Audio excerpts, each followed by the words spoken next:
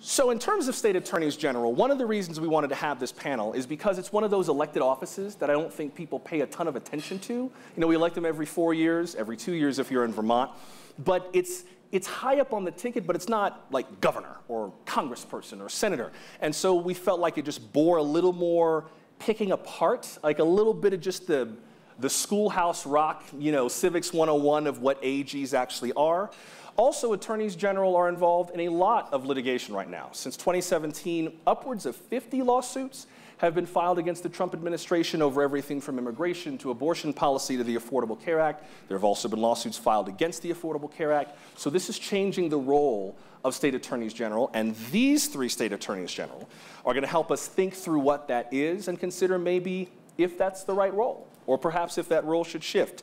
Sitting closest to me is Ellen Rosenblum, the Attorney General of the state of Oregon, elected as a Democrat first in 2012 and then reelected in 2016. She's a former federal prosecutor, state judge, and assistant U.S. attorney. Ellen, welcome to the program. Thank you. Next to Ellen is Phil Weiser, the Attorney General of the state of Colorado, elected as a Democrat. He has served in both the Clinton and Obama Justice Departments. He has clerked for Supreme Court Justices Ruth Bader Ginsburg and Byron White and became Colorado's Attorney General in January. Phil, welcome.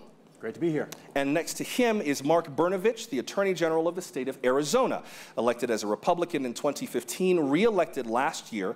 He's former Assistant U.S. Attorney for the District of Arizona, former Assistant Attorney General with the Arizona Attorney General's Office. Mark, glad to have you with us. Thanks. Let's start with just some of the basics, and I'd love to hear from all three of you about what is what the guiding principles are that guide your work. When you go through your jobs, regardless of what it is you're doing, are there one or two kind of top line goals, principles, ethics, values that govern what you do as an attorney general? Uh, Ellen, why don't we start with you? We'll just work our way down. Good afternoon. It's great to be here, everyone. Uh, a lot of people think of us as the top cop. Since I became Attorney General, and maybe because I'm the first woman to be Attorney General in Oregon, I gave myself a new moniker. I'm the mama bear, looking out for my cubs, protecting my people, making sure that especially the most vulnerable in our communities are looked after. That is pretty much my mantra. And of course, taking care of our precious environment. I come from a beautiful state like many of you, all of you really. We all have the beauty in our states. We want to protect our environment. So we're taking care of our resources, we're taking care of our people, we're looking out for harms, and we're, of course, following the rule of law. Phil, what about you? We started with the question about what's our overall vision and came up with together we serve the people of Colorado, protecting our democracy, advancing the rule of law, promoting justice for all. And we do that with four core values. We're principled, we're public servants, we're innovative, and we're better together. We're living the moment, David Cohen referred to this, where our democracy and the system of the rule of law is being tested. We believe that our office, by acting with integrity to the rule of law, by working hard in a collaborative way to solve problems, can help demonstrate how our democracy can work. Mark? Uh, let me begin by saying, first of all, thank you all for being here, this panel. I know that when I saw today's agenda and schedule, I, I saw Matt Ryan speaking the quarterback for the Falcons, and I thought, oh my goodness, I need to go to that panel. and then I realized I have to be here. So thank you all for being here instead of listening to Matt Ryan. So Sorry. I will, I will try to be as entertaining as he is. Um, but uh, let me, I don't think there's a, there's a, a simple answer to that. Um, and, and because I think all of us have different experiences when we came to this job, but we all, all three of us, and many of our colleagues have a passion um, for giving back to the community. When I first ran for Attorney General, I had never run for office. In fact, quite frankly, I have a great disdain for most politicians. Um, if you hear me talking about, especially Congress and um, some other pol political figures, even within my own party, um, I'm always, uh, sometimes I'm disgusted by what's happening. But the person, my predecessor, was an attorney general and he was mired in scandal. There was all sorts of ethical issues, FBI investigations, and I was a career prosecutor. My wife is a prosecutor, she's now a federal judge, and we have a circle of friends. We were all like, this is crazy. How can you have the state's chief law enforcement officer constantly being mired in scandal or their ethics being questioned. Because when you're the government, and this is maybe because I'm a first generation American and my family fled communism, but when you're the government, you have the ability to take away people's livelihoods, their life, their liberty, and property. So we have to hold quite frankly, especially prosecutors and AGs, to a higher standard. And so um, I got in the race and I was fortunate enough to win. But throughout that race, I kept saying, your role, your role when you're the Attorney General is to do one thing, and that's to seek justice. And when you're the government, you can never count success in terms of wins or losses, um, or amount of money that's been won or lost. It's not like a private firm. Um, it's different. Success, what matters is, has justice been done? And so one of the first things I did when I became AG is throughout our building, whether it's in the restrooms, the elevators, the building you walk in, there are quotes about justice from Martin Luther King Jr. to Gandhi, um, all sorts of historical figures um, throughout the world reminding our lawyers, our investigators, our legal assistants that every day their job is to seek justice, is to seek justice for the people of Arizona. You kind of got at this with your answer just now, Mark, but I also wanted to ask everybody, you kind of alluded to this, and I'll start with you again, Ellen, about what it is that made you decide to be an attorney general. What is it that an attorney general can do, can accomplish for a state that you could not accomplish any other way? What made the AG the best avenue for what you wanted to accomplish? Well, I had no idea, of course, uh, what was going to occur in my second term. Uh, in my first term, I knew that there were going to be some really important issues, and I knew that, given my background and my experience, that I was the right person for the job. So I don't want to give you my campaign speech. I had no intention of running for Attorney General, just like uh, I guess Mark didn't either. I'd been a judge. I actually retired from being a judge after 22 years. But what I realized when this opportunity came along is that there's just so much that I can do and that I think I can bring my toolbox from all the different types of experiences that I've had, not to mention that there had never been a female before. I, thought, I don't want to overplay that one, but I thought that it was the time had come and the time was ripe for me to, uh, to take on this role. Now, four years ago when I got reelected, or three years ago when I got reelected, it was the same night that um, Donald Trump got elected. And suddenly I realized that there was like a whole part of my toolbox that I hadn't had a chance to use yet. But fortunately, I knew it was there, and I had the uh, kind of wherewithal, I think, to uh, not only have, the, have the, the, skills to do it, but also the ability to bring people together. And so what I've really loved the most about this job, actually, has been the opportunity to work with my colleagues throughout the country. And uh, I don't get to work with Mark as often because we're different political parties, but truthfully, we work together on a lot of things, don't we? We, have a, we have several bipartisan uh, opportunities right now with opioids, for example. We have a big opioid investigation and potentially, hopefully, a settlement sometime that will provide monies back to our states, all of our states, for treatment and for the things that we need to help people because it's a terrible crisis. Same thing with um, Student debt. Student debt is a huge crisis in our country. There's 1.6 maybe it's not up to six, five, we'll say, trillion dollars outstanding in student debt. All of the AGs care about this. Mark came up to Oregon for my conference a couple of weeks ago uh, and was a moderator for me. So I think it's important to note that there are certainly partisan issues, there's a lot of polarization in our country, but that state attorneys general, we're not as political, if you will. We're not as partisan as some of the other offices that people have. Maybe, maybe that's because we're lawyers. And at the end of the day, that's what matters. We're lawyers. We're about the rule of law. We're about protecting the Constitution. Every one of us has to take an oath to protect the Constitution of the United States as well as our states. And so that's what we're really all about. And we work together quite a bit. You'd be amazed. Phil, before I let you answer that question about what you could accomplish as an attorney general, could I just follow up on something you just mentioned in terms of the opioid crisis investigation? Can you talk a little bit more about how that comes together and how that works, either you or Mark, in terms of what you can bring as an attorney general or through the attorney general's office that's maybe different than what another law enforcement agency could bring or a lawmaker or the governor's office. Like how do ags take a unique role in something like the opioid crisis? We, well, I, don't want to take away from my colleagues here, but basically all of us have similar laws. We have unlawful trade practices laws in our states, and we are using that part of our toolbox, our consumer protection toolbox, to bring actions against uh, manufacturers and distributors of opioids. We've been doing this over the years. We even sued them back in 2007 and got some uh, consent decrees and various other uh, agreements, but those agreements weren't followed. So we're actually following up and bringing uh, actions to hold uh, the companies in contempt that haven't complied. So there's lots of things we can do. We also can go after them criminally. Uh, and we're doing that as well. And we have a lot of major, I think uh, my, my, our colleague Maura Healey just announced a big uh, uh, bust in uh, Massachusetts that's connected with opioids. So there's lots of different things we do because we are both prosecutors on the criminal side as well as on the civil side. We are enforcers. Phil? Let me pick up this thread about the opioid epidemic because I think it may be the most important thing that I'm able to do.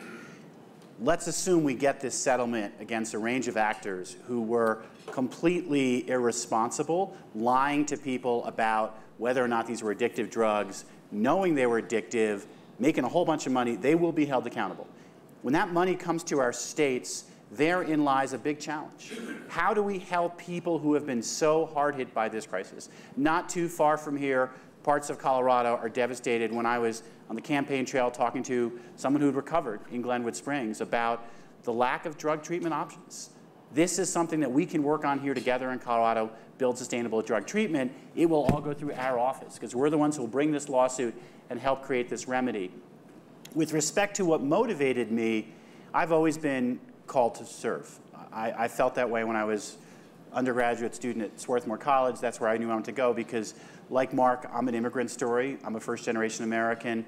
My mom and grandparents came here after surviving the Holocaust and was, they were liberated by the US Army and they wanted to come to the United States of America because they believed in what this country stands for and in what is actually Justice Ruth Bader Ginsburg's favorite quote from the Bible we are all called to justice, justice shall you pursue.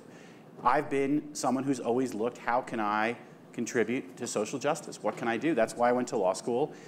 That's why I clerked for judges, worked for the U.S. Department of Justice, and served at the University of Colorado Law School in a different world where Hillary Clinton became president, I might have been serving in that administration uh, for a third time in Washington, but we were in that world. And in this world, if I wanted to serve, I had to run to be Attorney General because I knew this was an incredible opportunity to use law to solve problems, not just the opioid issue, but criminal justice reform, how we manage our water, a range of challenges we are at the front lines with tools to actually do things. And at a time when Washington is so polarized and dysfunctional, we're in a unique situation to address issues effectively in an engaged, collaborative way with our communities. I do want to get to some of the way that attorney generals address gridlock in Washington. That's a big part of what we want to discuss. But Mark, I wanted to give you a chance. If you wanted to chime in at all about the way that the pursuit of the opioid crisis affects Arizona, I'd, I'd love to hear from you on that. Yeah, let me, let me maybe take a step back from that mm-hmm. too, just kind of, you almost finished the, the last answer, is that one of the things that a lot of folks, like I remember when I first got elected AG, my sister-in-law was a very smart person and, you know, has got a graduate degrees, said, what exactly does the AG do? I mean, and so I think there's a lot of things people don't appreciate. And so sometimes when I'm out and about talking, I always tell folks that we are the largest law firm in the state of Arizona by number of lawyers in, in the state, but we also do things that touch people's lives every day. And I know all three of us, we have situations where we have to represent government agencies. When the state gets sued, we have to defend the state whether we like it or not.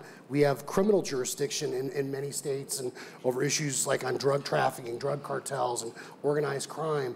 Um, and we also do, we have civil division, um, that not only provides advice to agencies, but also is involved in civil litigation. And so our civil litigation, Cybit AG, has, has been very, very busy, especially for the past. And it's not only because we have uh, two major lawsuits that we've done against the opioid manufacturers. One was a company, um, it's still ongoing, so everything I say about any of the opioid manufacturers, just put the word allegedly in front of it so I don't get sued by them. Um, but, um, but, but this manufacturer had um, was was one of the doctors actually is cooperating now with us. They were paying they were paying doctors to prescribe a fentanyl-based drug.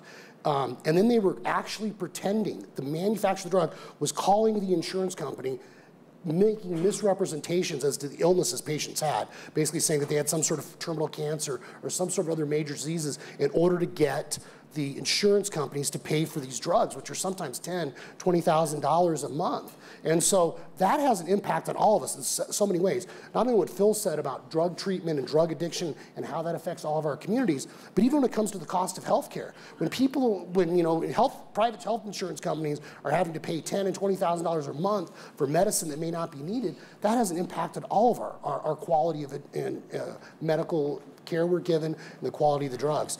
But the other thing, the other thing in the civil litigation unit, so you hear about some of that high profile stuff, but there are other ways that uh, the state AGs have been really engaged using those consumer protection laws.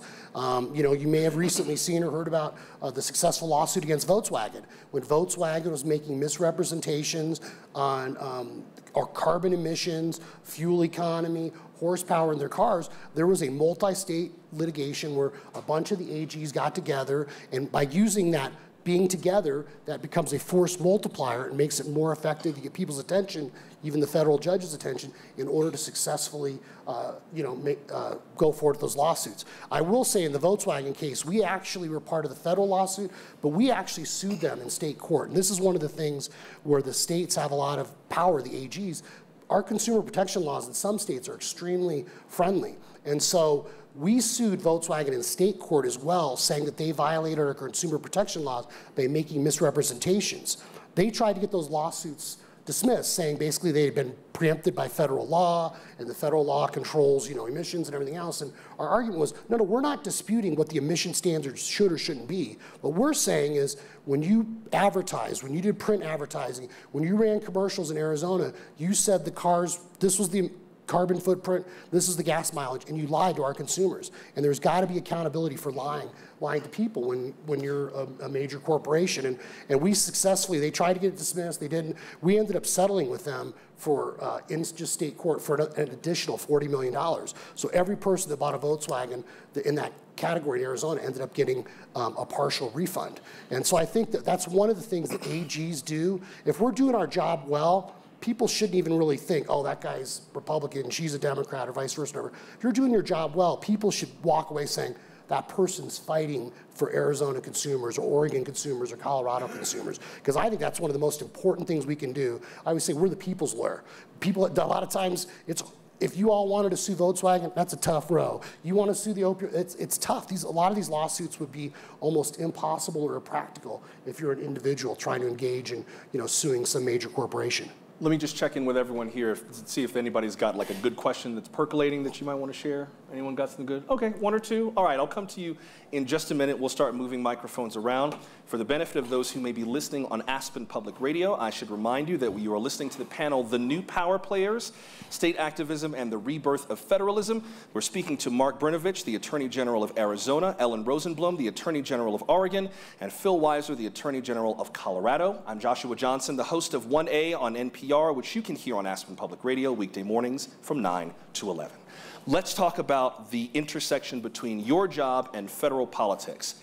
Ellen, you mentioned that when you were reelected in 2016, the election did not go quite the way you expected.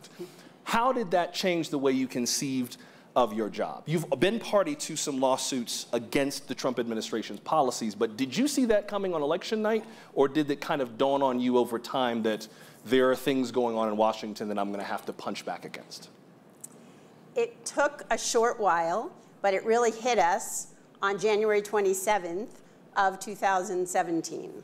You may recall that date. It's indelibly printed on my brain. That was the date that uh, President Trump issued his first executive order, the travel ban. And I was at a meeting of Democratic AGs actually in Florida that particular day. And the fall, that was a Friday, I believe, maybe a Thursday.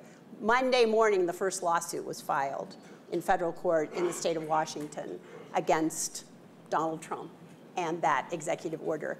Pretty much from then on, folks, we've been checking our Twitter feed every morning. We've been checking to see, uh, you know, what's the next uh, thing coming our way.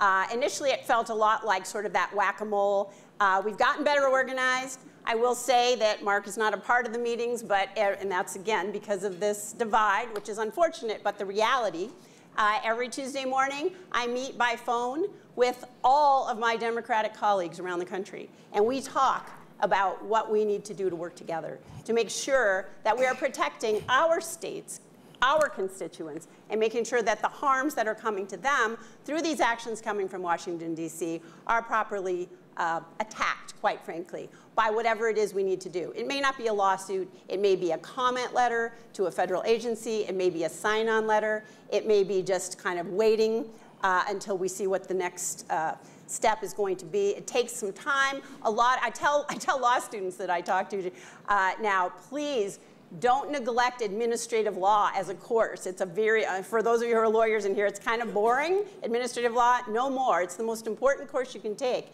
that and con law in law school, because just about everything coming out of Washington involves some kind of administrative action.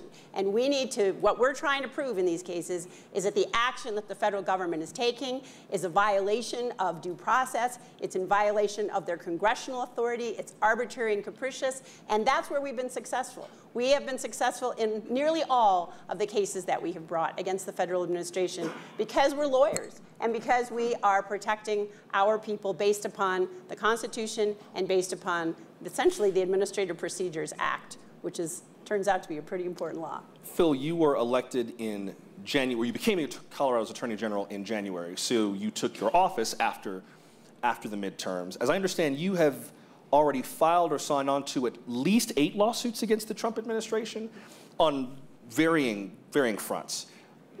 I, I wonder why you've, I don't want to say focused on that, but why so many?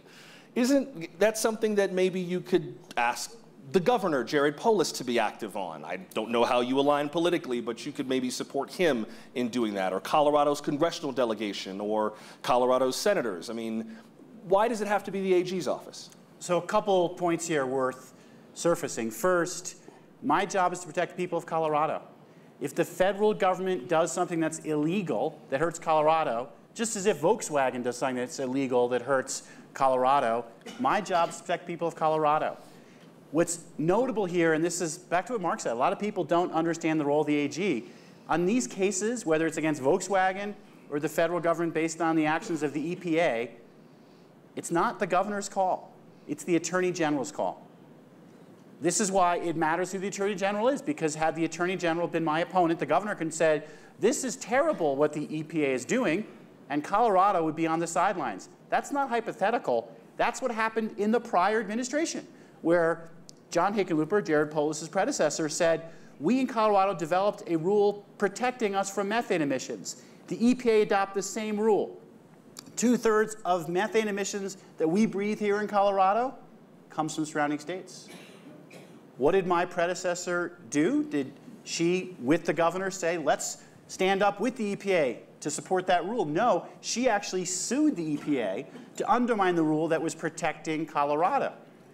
So it's not about who the governor is. These lawsuits are up to the AG. And what I ask on every single case is something illegal? Does it hurt the people of Colorado? The first one I got onto, and Ellen and I were on a conference call explaining this as I was taking office, the Affordable Care Act. This is something that we just have to recognize is not normal. The US Department of Justice is making an argument that the Affordable Care Act passed by Congress, upheld by the Supreme Court, should be struck down in its entirety because there's an argument about a single provision. This is the individual mandate provision. There's an argument about whether that's constitutional.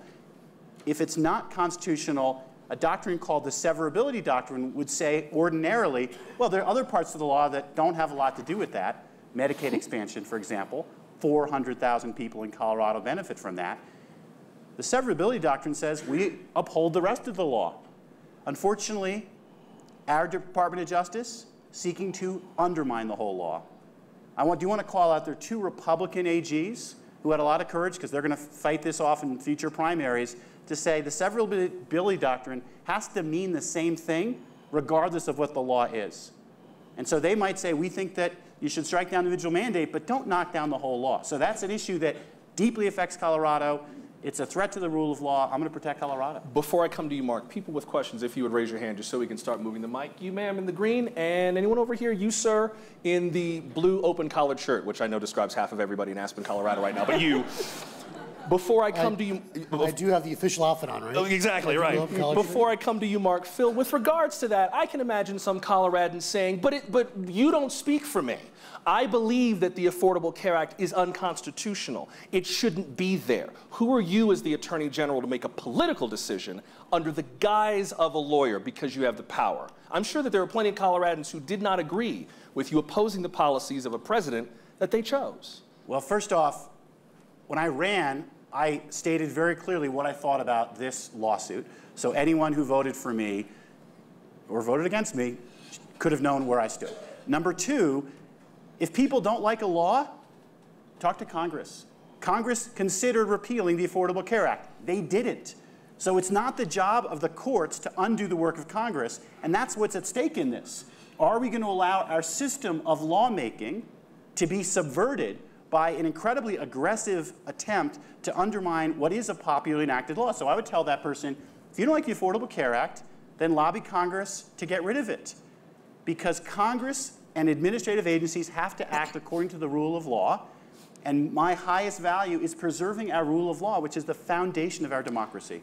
Man, before we get to your question, let me just put one more to Mark. You were elected in 2015 before the Trump administration, reelected last year during the midterms you are a Republican. The Republican Party has been going through a lot of soul searching in the last few years. How has the Trump administration affected any aspect of the way you do your job? I hear you in terms of saying that there are certain things that if the Attorney General is doing his or her job right, should feel nonpartisan, should just feel like they are in the best interest of Arizonans. America's not that country right now. So how do you handle that? Yeah, I, I think that's unfortunate. You know, um, when in my inaugural address, when I was reelected, one of the things I talked about that I worry about in this country is that, um, you know, I, I, knew Barry Goldwater and I was a big fan of his. And Barry Goldwater used to always say that people can disagree, but they shouldn't be disagreeable. And I worry sometimes that some of these policy disputes we've, we've gotten into have become so personal and nasty that it's, it's really hard to sometimes work together on other issues. And it's one of the things, and, and I've also talked about, like in the AG world, for the most part, I feel like there's this is one of the last bastions where Republican Democrats still talk about stuff and try to get some you know commonality. In fact, I'm a, I'm a with a group of bipartisan group looking at the issue of internet privacy and security, dealing with some of the major players. I think that's a huge issue. We haven't even touched on it yet, um, but that's also a bipartisan issue. Unless we act together, nothing's going to get done because I don't have faith in Congress to do it. Um, I do think, I do think it's really, really important though that I, I, it's during the eight years of the Obama administration. I think there's about 47, 48, somewhere in the 40s lawsuits filed against actions the executive branch had taken. And that number since the election of, of President Donald Trump is, is more than doubled now. And so there's a lot more litigation going on um, as far as challenging what the executive branch of government may or may not be doing.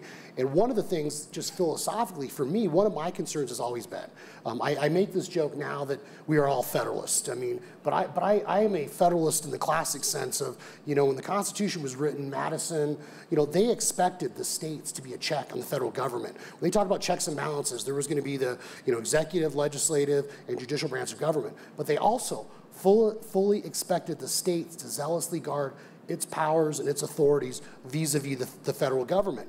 This manifests itself in a lot of ways. In fact, last year, um, uh, I have an article in the Cato Institute's Supreme Court review about a case dealing with gambling the Christie, the New Jersey case, and where the Supreme Court overturned the federal law dealing with um, gambling because they were basically commandeering the states and forcing the states, not allowing them to um, authorize various forms of sports gambling. And the reason why stuff like that's important is because, see, I've always believed that historically, inherently, issues dealing with police power, whether it's gambling, whether it's marijuana, those were issues that were designed to be left to the states, not to the federal government. And as the federal government gets more and more involved in all these issues, it becomes bigger and bigger and more bloated and less accountable. And the framers, the framers anticipated they wanted government to be more accountable, to be closer to the people. And that way you have more input and more accountability uh, when it comes to you know, who you're voting for and how you're voting for them. And so I would say with Phil, what he talked about, when I was running for reelection, I got hammered for some of the stances I took.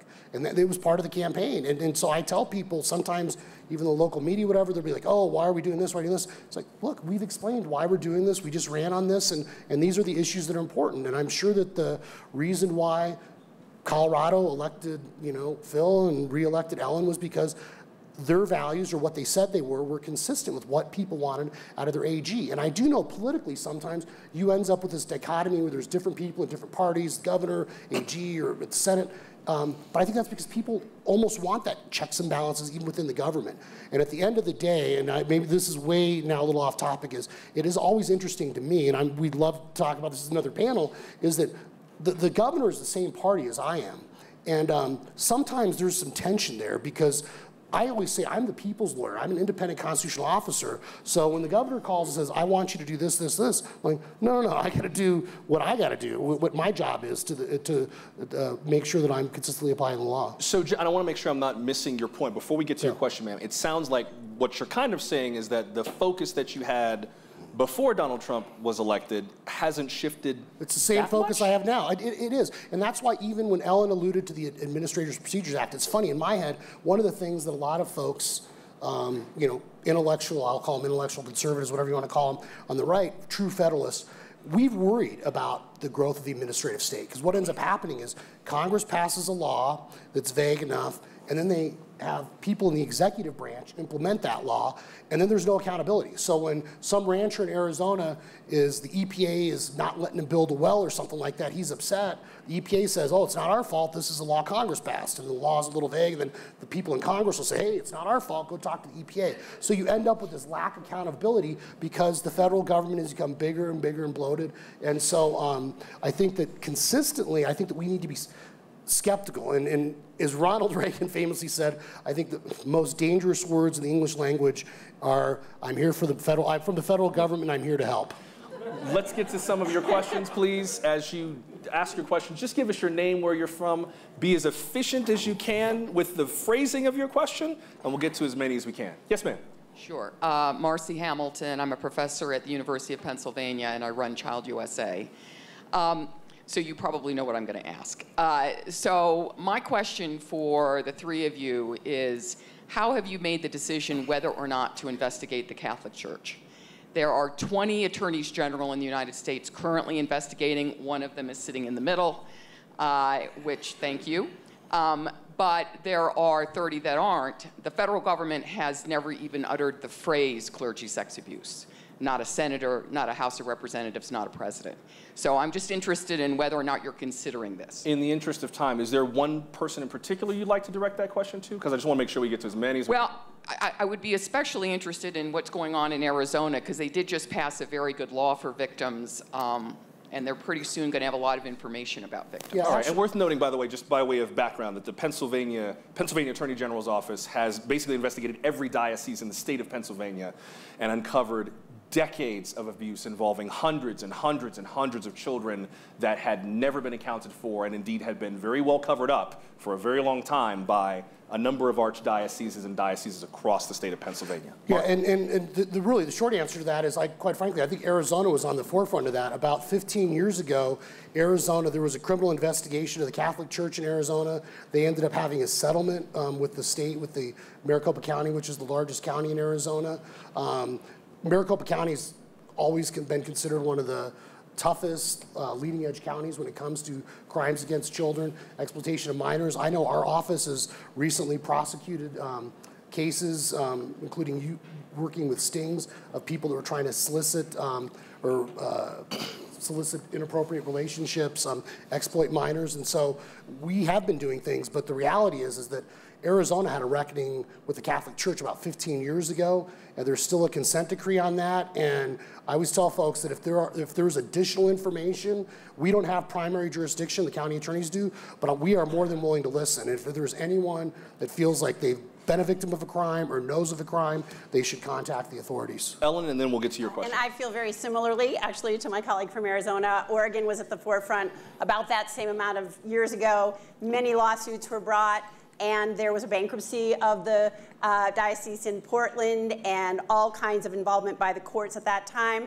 And I also have to add that you can't necessarily tell whether a state is investigating or not because a lot of times they're not allowed to talk about it. Yes, sir. Jim Daly, uh, Aspen resident. Um, my question would be with respect to rise of state activism and federalism. The resources of your offices and as a taxpayer, where are they being allocated with intergovernmental issues where I'm paying on both sides of the case? Because I think every time I read in the newspaper that one agency is suing another agency and I think I'm paying the bill, it's incredibly frustrating.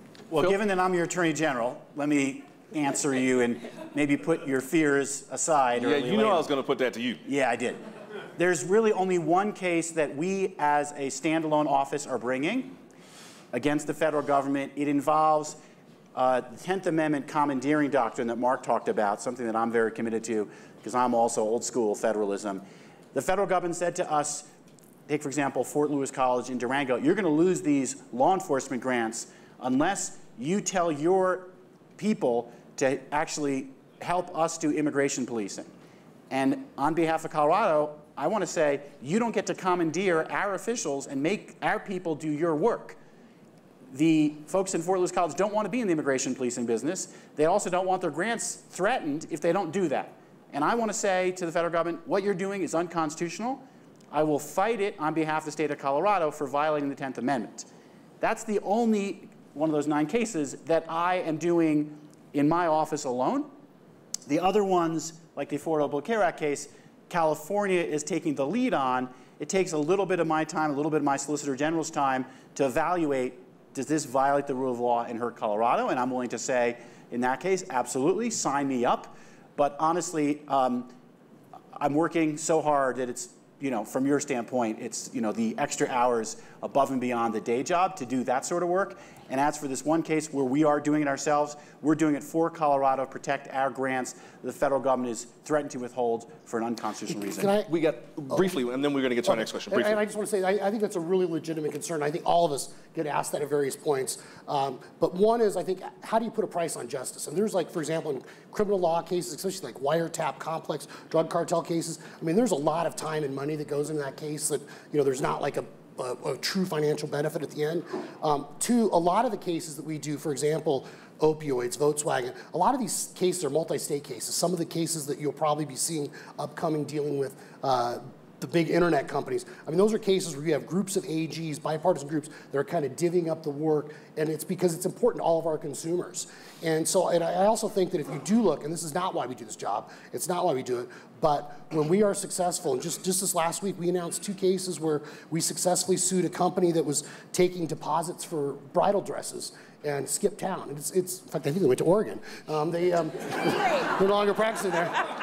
They, no, but I didn't mean that in any sort of bad way. I Crack didn't- down. every- I'm, I'm glad they moved out. It's like, She'll go after him there. We'll but, they, but, it, but it was like 100. But, so we sued them to get that money back. And it's like some people may say, oh, well, maybe they should have gotten a. No, but it's like because it was so systematic and it was a big group of people, that became an issue of public concern. And so I think that um, when you do look at some of those cases, even like the Volkswagen case, since I've been AG, we have gotten more restitution back to individual consumers than the, the previous four administrations combined. So one of the upsides about sometimes being a little aggressive and involved in litigation um, is that you end up getting money back for your consumers and you're holding these companies accountable. So whether it's GM or Volkswagen, we have a, we, Theranos. We were one of the states that sued Theranos and, and successfully um, got refunds for all the consumers. And so I, I think that you know sometimes it's hard to put a price on that, but I think that uh, companies you can even deter bad behavior if they know that if they do something illegal or if they make misrepresentations, they could either be charged criminally or sued civilly. A few minutes left. We'll get to as many audience questions as we can. Yes, sir. Hi, Alan Shears from Florida. As a uh, first-generation immigrant to North America, my parents Holocaust survivors, we elected to immigrate to the U.S. 28 years ago, and we escaped Canada. some people will understand that, some won't. Um, I was taken aback by, by the point Ellen made. The, the Tuesday morning Democratic state attorney general meetings. Why not all the attorney generals on that Tuesday morning telephone meeting? Ellen? Doesn't sound bipartisan, as opposed to the three of you seem very bipartisan. Right, but as I said, there are unfortunately some areas where they simply are, we're simply too polarized. We would love nothing more than to have the Republican AGs join us on the Tuesday morning call. Uh, in fact, I'll invite Mark here publicly. Some of her colleagues may not appreciate that. No, I, I, I totally appreciate it. And, and I want to say, when I was working in the Department of Justice the first time in the antitrust division, there was no Democratic AGs, there was no Republican AGs, there was only a National AG Association. That was the old world. At some point, first the Republican AG started, and then the Democrats, the people thought we got to do our own. Um, where we are right now, on an issue like the Affordable Care Act case, there are some Republican AGs taking the same position we need to get more around principle and work together. And I'm also totally with Mark. If we disagree, we don't need to be disagreeable, work together on other stuff. Where I also think what Mark says is really important, we have to keep this bastion governed by principle, governed by collaboration, to make government work the way it's supposed to. Before you ask your question, can you teach Congress to do that? Why is it that you can do that and Congress can't and many governors can't and the White House can't? And it's like these seems to be one of the only levels of government where Democrats and Republicans can just see eye to eye out of principle. Why can't everyone well, else do that? Part is because we've got a prior commitment to the rule of law. So does Congress. So does the president. Their oath begins with I solemnly swear to defend and uphold the Constitution of the can, United States. I, Same as yours. Let me just say a couple things really quick, Josh. One is just, just following up on Ellen's point. One thing I will say is that we're all involved, and I was the past chairman, Ellen's been the chairman, chairwoman before of the Western Attorney Generals Association, and that's where that's where a lot of the Western AGs get together. And um, a lot of times we have a lot more, I don't say in common, but I do think I, I, I, have one of my big running jokes has always been that you know Washington D.C. is where good ideas go to die, and I think that sometimes you're in that bubble, everything becomes so hyper. That's one of those jokes is hard to laugh at, but it's true, right? Yeah. yeah. No, but everything becomes so hyper partisan there, and just this is totally off subject, but I since I've been elected, I've become a huge believer in term limits, and I think part of the reason is because in Congress, what ends up happening is everyone's always running for their next office, they're running for reelection, they're trying to climb up the ladder. You know, every U.S. senator looks in the mirror and sees the next president. I mean, so, so there's all these issues where um, there's this this overlay, and I think that's why stuff doesn't get done because people would rather score cheap political points than get stuff done. And I think, and may, I don't know, maybe it's because we're lawyers too and we're used to like, sometimes you litigate, you know, against people and, you know, you, it may be a tough litigation, but you shake hands and you can, you understand, hey, we're, it's nothing personal. A few more questions before we go. Yes, sir. My name is Johnny. I live in Denver. Uh, and I want to ask about the emphasis on financial settlements in cases of corporate abuse and what tools you have to force other accountability. Um, take the opioid example. We were talking a lot about financial settlements. My impression is your, your, your friend on the Tuesday calls, Maura Healey is focused on some more aggressive uh, uh, punishment of executives who were involved in that, rather than just redistribution from shareholders to taxpayers in the form of a settlement. Obviously, settlements are important and have a role, but I'd love to get a sense of what other tools you have available to force accountability. Well, sure. Well, I, I think it's important to note that while we are definitely trying to get money, dollars, so that we can bring money back to our states for treatment, for all sorts of other, you know, cessation type of types of programs, uh, both thinking back to tobacco, uh, wasn't as successful in terms of, of accomplishing that. But even more important for state attorneys general than the money is the injunctive relief that we get. It's the actual terms of the settlement. And so you can look to Oklahoma. I don't know if anyone's here from Oklahoma, but Oklahoma is the one that got the settlement, right? Everybody's like, well, how did they get that big settlement? Well, maybe their injunctive terms weren't quite as strong as what we would want to insist upon. And that's ultimately what it matters for the future. And that's what state AGs are all about. And and so we work together as multi-state groups, all of us, when it comes to opioids, when it comes to, uh, we'll be talking more about the privacy, the internet uh, world is certainly out there and technology is, is uh, back and forth in terms of protecting our privacy and our security. You're gonna be hearing from us on that. But what we're about is not so much the money as it is about how are these companies going to correct their bad behavior? Do they actually need to be eliminated completely, or can they stay alive? Can they stay in business, but with terms that we can all agree to? And let me just, yeah. can I add one thing to that Briefly. really quick? The, um, and what I alluded to earlier about reshaping or deterring bad conduct, I think that's part of it. And if I hear part of your question, because sometimes we get asked this, it's like, well, wait a minute, this is a civil case, why didn't you prosecute him criminally? And I think this is all really important for everyone to appreciate, left or right as I said earlier, when you've got the power of government, I was just saying, the power to indict is the power to destroy. And I, it offends me. Maybe this is because of my Eastern European first generation roots. I don't want government throwing stuff against the wall and seeing what sticks when it comes to the criminal process. Because I mean, these are people's lives and you know the livelihoods. And so when you're, if you're a prosecutor, you have an ethical obligation. You should never indict anyone unless you believe you have a reasonable likelihood of conviction. And as you know, this, I, I think you know because the way you asked the question, the standard in a civil case is lower than in a criminal case. And so when you start indicting people criminally, you need to make sure you have all your ducks in a row. And I'm a big believer, even going back to my DOJ days, in the rule of lenity. If there's like some uh, um, confusion or if the statute isn't clear, you err on the side of the individual versus erring on the side of the government. Phil? And so, I, uh, So quickly, just to give you an example, we took an action by ourselves because the federal government was not acting to address a merger and impose a consent decree with requirements to protect competition and healthcare consumers. No damages at all, only protections, because you're right, and what Ellen said is absolutely right. First and foremost, we want to protect people. Where there's financial harm that's been done, we can try to undo it, give money back to people, or address it. But first and foremost is protecting people. One last question, ma'am. Go ahead. There are so many topics. Oh, introduce yourself, please. Oh, I'm sorry. I'm Carol Foster. I'm from California, and I'm a CFO. Um, there are so many things on your plate. There are so many things to choose from. How Hold do you mic a bit closer, how do you determine your agenda?